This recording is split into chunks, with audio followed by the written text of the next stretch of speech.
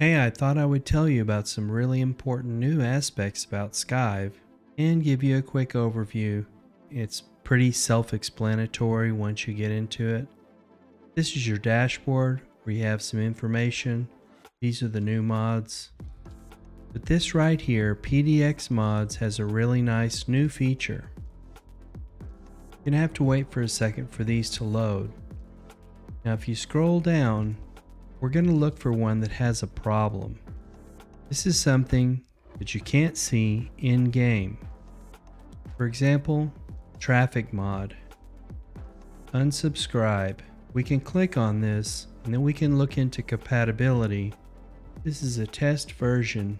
Be aware that these versions can cause issues. There's just not enough to review the mod, though it's probably okay.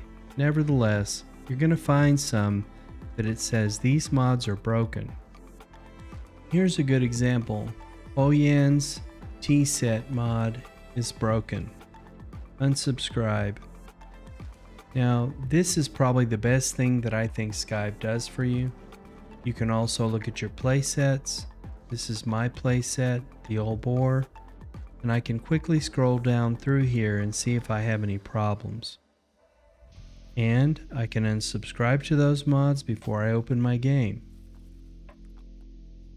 Once you go into PDX mods, if you're going to subscribe to any of these new maps or assets, you're going to do that. You can do that here, but you're going to have to wait a few minutes and you can't have your game running.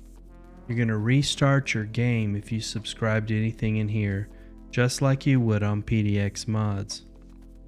This is New England Mountains. We're going to subscribe to it. You can see that it's downloading it to my local hard drive.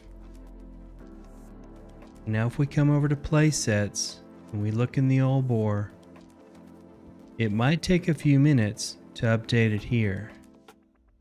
Go down through this alphabetically and here we have it, New England. Now my City Skylines game is not running. Once I start City Skylines, I will have this new map available to me. Now packages are everything. That's code mods, map themes, assets, maps, everything. Mods are just code mods. Assets are just assets. All of the rest of these are enabled. These are maps that I'm looking at to start a new city. Can also look at your compatibility report. Here we have the dependency pack is broken, the GUI is broken. Now I have unsubscribed to these. It's very helpful.